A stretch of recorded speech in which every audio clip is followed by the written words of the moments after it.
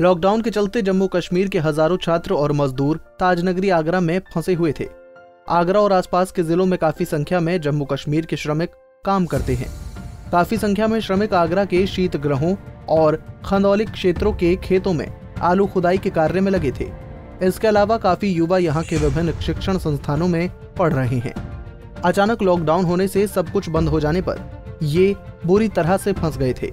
जिन्हें प्रदेश सरकार के राज्य मंत्री चौधरी उदयभान सिंह के प्रयासों से जम्मू कश्मीर भेजा जा रहा है। जम्मू कश्मीर के 1116 लोगों को उनके घरों तक सकुशल पहुँचाने का प्रयास शुरू हो गया है। जम्मू कश्मीर भेजने की अनुमति मिलने के बाद पुलिस ने बसों के ज़रिए इन्हें जत्थों में पूरी पाबंदियों और सुरक्षा पहलुओं के साथ भेजना शुरू कर दिया। आगरा से पहला जत्था जम्मू कश्मीर के लिए रवाना हो गया। मेरा नाम आदिल फारूक वार है और मैं जम्मू कश्मीर का रहने वाला डिस्ट्रिक्ट कुपवारा मैं यहाँ पर पढ़ाई कर रहा था B S C nursing in Pushpanjali college of nursing और मैं यहाँ पर नशीराबाद कॉलोनी में रहते थे हम। हम ग्यारह कश्मीरी लोग हैं यहाँ पर। तो आज घर जा रहे हैं।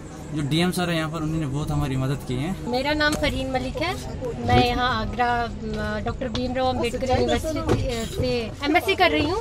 मतलब कहाँ रहते थे आप? यहाँ हम नसीराबाद कॉलोनी में रहते हैं। अब आप कहाँ जा रहे हैं? हम लोग जम्मू कश्मीर जा रहे हैं इसकी जो आप बस में जा रही हैं इसकी शासन ने व्यवस्था की थी कि आपने अपने आप करी है? मतलब मिली तो है बट इसमें एक तो सोशल डिस्टेंसिंग बिल्कुल भी मेंटेन नहीं है। ऊपर से मतलब सीट्स अवेलेबल नहीं है जितनी मतलब बोली गई थी। मतलब काइंड ऑफ़ ओवरलोडिंग है यहाँ पे। आपको जो भेज, भेजा जा रहा है ये शासन की तरफ़ से आपने अनुमति मांगी थी कि उन्होंने अपना ही जान जान कब को किया है? हमने अनुमति ली थी।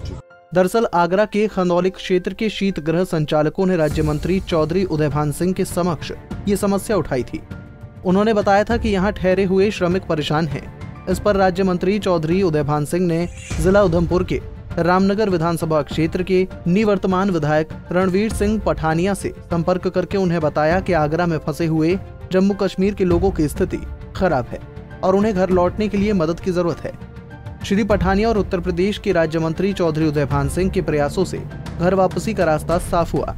चौधरी उदयभान के प्रयास के बाद सभी के आधार कार्ड और फ़ोन नंबर संकलित कराए गए। इसके बाद पंद्रह बसों का इंतज़ाम करके उन्हें वहाँ भेज दिया गया।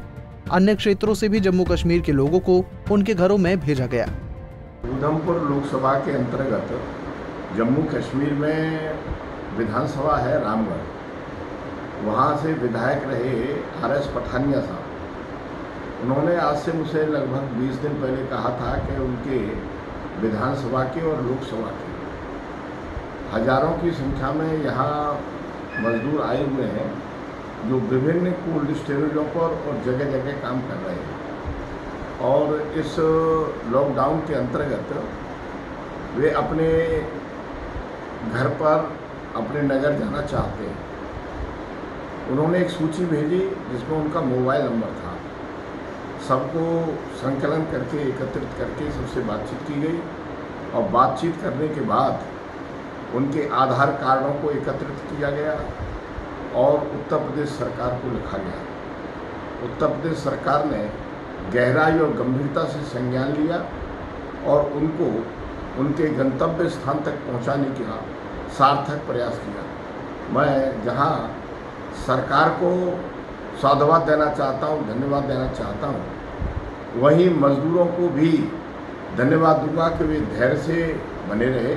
उन्होंने धैर्य नहीं खोया और आतुरता उन्होंने नहीं दिखाई।